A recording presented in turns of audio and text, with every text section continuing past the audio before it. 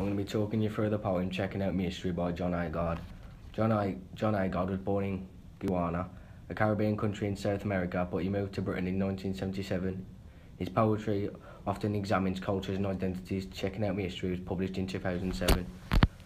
The narrator is talking about his identity and how it links to his knowledge of history. He was taught about British history but wasn't taught about his Caribbean roots. He lists famous figures from history and questions why he doesn't know about people from other cultures who did great things.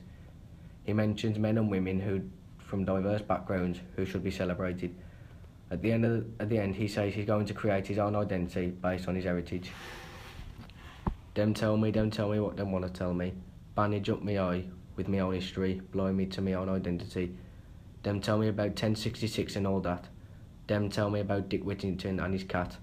But Toussaint L'Ouverture, no them tell me about that. Toussaint a slave with vision black Napoleon battalion, and first black Republican born Toussaint the Thorn, to the French Toussaint the Beacon of Haitian Revolution. Them tell me about, they tell me about the, the man who discovered the balloon and the cow who jump over the moon, but them don't tell me about the Irish ran away with the spoon, but them never tell me about Nanny the Maroon. Nanny see far women of mountain dream, fire woman struggle, hopeful stream to freedom river. Them tell me about Lord Nelson and Waterloo, but them never tell me about Shaka the Great Zulu. Them tell me about Columbus in 1492, but what happened to Caribs and the Arawaks too. Them tell me about Florence Nightingale and She Lamp, and how Robin Hood used to camp. Them tell me about Ola King was a merry old soul, but them never tell me about Mary Seacole. From Jamaica she travelled far to the Crimean War. She volunteered to go, and even when the British said no, she still she still braved Russian snow. A healing star among the wounded, a yellow sunrise to the dying.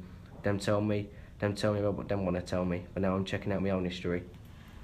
Three key quotes you could use apply me to my own history, as I make as I'm making him be someone that he's not. But them never tell me about Nanny the Maroon, which shows I deny him his own culture, education. Them tell me what they want to tell me, which summarises the poem to show his feelings of his own education. You could compare the narrator's anger with one of the narrator in London. The formation of identity is a key theme in tissue where ideas about heritage and challenging authority are also explored.